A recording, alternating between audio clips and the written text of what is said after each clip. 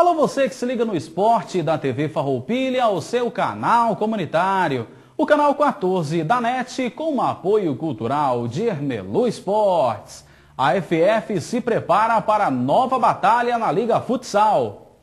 Neste sábado, dia 17, a equipe de Farroupilha terá sua segunda chance de vencer em casa pela Liga Nacional no ginásio do Saturno. A equipe do técnico Tuca terá pela frente o Minas a partir das 19 horas e 30 minutos.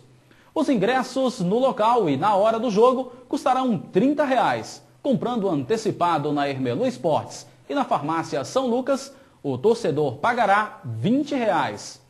E os planos de sócios que dão entrada gratuita aos jogos estão à venda na secretaria do clube no Estádio das Castanheiras.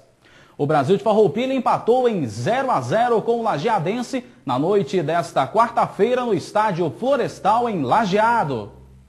O resultado mantém o time de Farroupilha na liderança da chave 6 da segunda fase do Campeonato Gaúcho da segunda divisão. O Brasil volta a campo no próximo sábado às 16 horas diante do Cruzeiro aqui em Farroupilha. E uma vitória pode deixar o rubro-verde na liderança isolada da chave.